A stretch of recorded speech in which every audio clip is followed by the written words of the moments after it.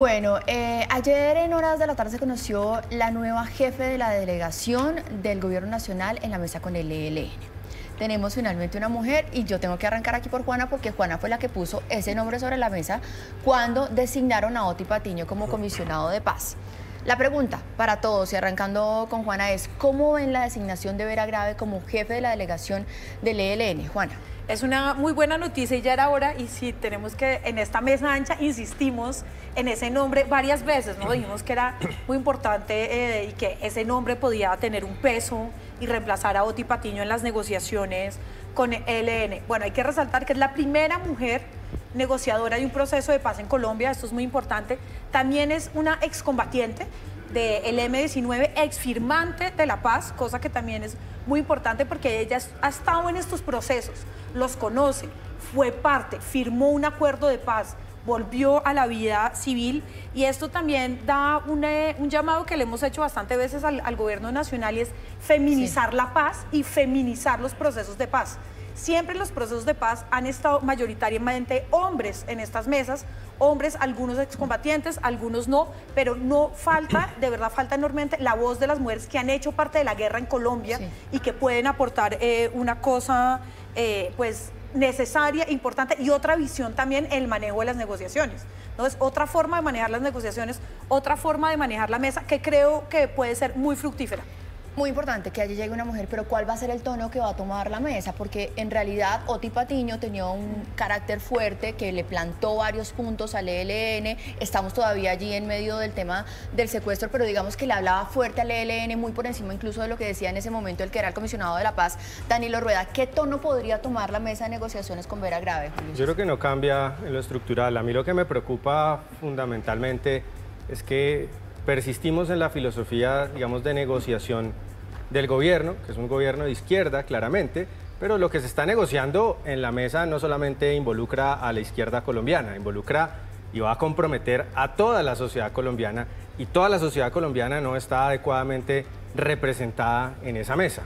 Para poner un ejemplo, digamos, de lo importante que es de lo que se está hablando con el ELN, pues miremos lo que acaba de pasar con la reforma de la salud. Sin eh, los votos de las curules del Partido Comunes, EXFAR, y sin los votos de las llamadas curules de paz, lo más probable, casi seguro, no habría pasado de la Cámara la reforma de la salud que involucra no a la izquierda colombiana, a toda la sociedad. Y por eso me parece importante que la mesa representara a distintos sectores de la sociedad colombiana, cosa que no.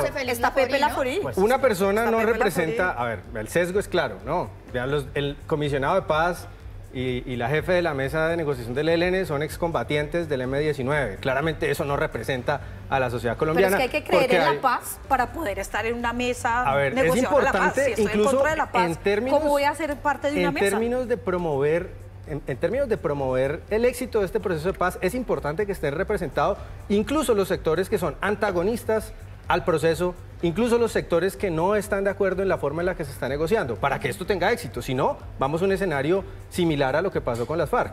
Los sectores guerreristas de las FARC fuera del proceso y montaron sus disidencias. Y los sectores de la sociedad que no se vieron representadas ahí, igual no apoyaron ese proceso. Julio César Jorge Iván. No, yo creo que no, tiene razón Julio César, eh, empezando porque una mesa de negociación no tiene que tener el atributo de la representatividad. Sí, es el gobierno que ha sido elegido democráticamente con un grupo armado y legal. Digamos, la mesa no, no es una asamblea constituyente, la mesa no es un congreso, digamos. Eh, y si esa fuera la, objeción, creo que la, presencia de José Félix Laforí eh, resuelve ese problema. Ahora, y Valencia Cosio también. Ver, y Valencia, Cosio, sí, que representa un poco el establecimiento político. Ahora, yo creo que la presencia de Vera Grave es muy interesante.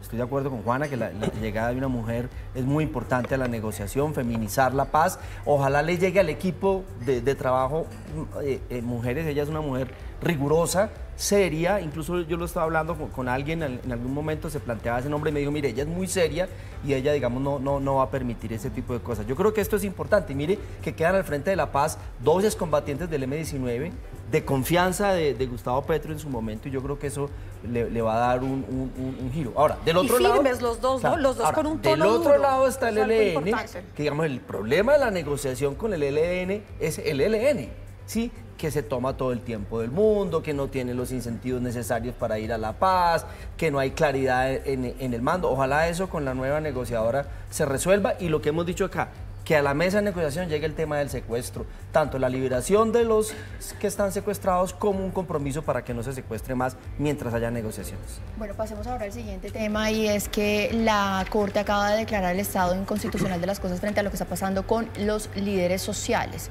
Es muy preocupante lo que sigue pasando con los líderes sociales. Dice, hay una indolencia del Estado, hay una desatención también del Estado. Pero mi pregunta también es un poquito más allá.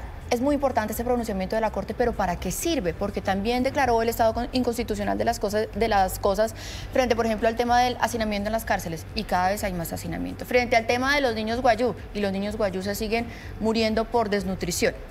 Jorge Iván. la Corte toma este tipo de, de decisiones del estado de cosas inconstitucional cuando hay una grave y sistemática violación de derechos fundamentales que con una medida digamos, ordinaria no se cumple, ¿sí? Entonces esto es poner el tema en, la agenda con fuerza y llamar la atención sobre que son muchas variables las que se tienen que, combinar. No solo es un, tema de ponerle medidas de protección, sino que hay que generar condiciones de seguridad. Entonces los tres departamentos donde más hay eh, líderes sociales son Antioquia, Nariño y Cauca, donde están presentes las disidencias. Tengo que, eh, por la rueda de prensa desde la policía quedamos en punta con un tema, vamos a cerrar con un muy rápido comentario de Juana para pasar a nuestro siguiente tema que es el de líderes sociales. Hay un par de cosas importantes eh, de la protección constitucional de los líderes sociales y es que resaltan que los esquemas de seguridad no son suficientes, como le estaba diciendo Jorge Iván, ¿no? pero muchas veces el Estado cree que simplemente adjudicándoles un esquema de seguridad ya está resuelto el asunto. Y hay asuntos que, y, y críticas muy importantes que se hacen y es que no hay enfoque de género, no hay enfoque territorial, entonces las víctimas y quienes son eh, líderes sociales, se siguen sintiendo 100% desprotegidos. Listo, pasamos a nuestro siguiente tema y es la discusión del salario mínimo. Hoy a las 9 de la mañana se encuentran nuevamente sindicatos, empresarios y gobierno. Hemos conocido, a pesar de que aquí el, director de la SAC no lo confirmó, pero que los empresarios no van a llevar una propuesta, van a esperar a que, digamos, se decanten un poquito más las cifras y a ver si el gobierno finalmente puede poner una cifra sobre la mesa con la que todos puedan ponerse de acuerdo. Sin embargo, la gran inquietud en medio de todo esto es que justamente ayer, en medio de estos diálogos, pues está avanzando la reforma laboral, justo cuando varios gremios estaban diciendo, un momentico, esta reforma enrarece el ambiente. Julio César. Pues de nuevo una discusión elitista en una mesa donde están sobre representadas las empresas grandes del país. La economía colombiana está conformada de una manera muy importante por empresas pequeñas y medianas que no están justas ni proporcionalmente representadas en esa mesa. Y lo mismo del lado de los trabajadores, representados principalmente trabajadores sindicalizados del Estado que no tienen nada que ver con la realidad de la gran mayoría de trabajadores que o son informales o también están desempleados y tampoco están representados ahí. Y las decisiones de esa mesa perjudican, afectan principalmente a ese tipo de trabajadores. Y otra cosa que me alarma mucho, escuchaba ahorita al, director de la CUT, eh, diciendo que el problema de la economía colombiana o que la manera de estimular a la economía colombiana hoy era incrementar aparentemente mucho el salario mínimo. Desconocen que el eh, problema central de nuestra economía es un problema hoy de inversión de que las empresas han dejado de invertir, sobre todo la inversión privada se ha desacelerado y ha caído mucho durante los últimos meses. Ahí la reforma eh, laboral es eh, ponernos la soga al cuello porque encarece eh, precisamente invertir, que es justo lo que necesitamos hacer en este momento. Si encarece invertir, vamos a tener menos inversión y si tenemos un incremento excesivo del salario mínimo, vamos a tener también menos inversión y es el problema de la inversión el que hay que buscar resolver a través de la reforma, no perjudicarlo. Ahora, sobre la mesa ya hay como varias variables que se tienen que combinar. Uno, el dato de la inflación, el dato de la productividad, la reforma laboral. Yo creo que se va a mover, como lo hemos dicho acá y dicen los expertos, eh, por ejemplo, Desarrollo entre 10 y 12 puntos, sí, que proteja el eh, poder adquisitivo de los trabajadores, pero que no tenga un, impacto sobre la inflación. Ahora, ¿qué sería lo ideal?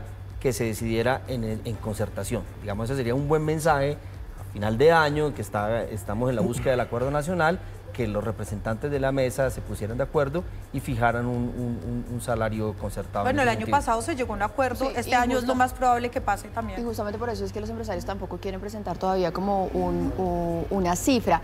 Sin embargo, lo que dicen es que muy seguramente los sindicatos se vayan con una cifra del 18%.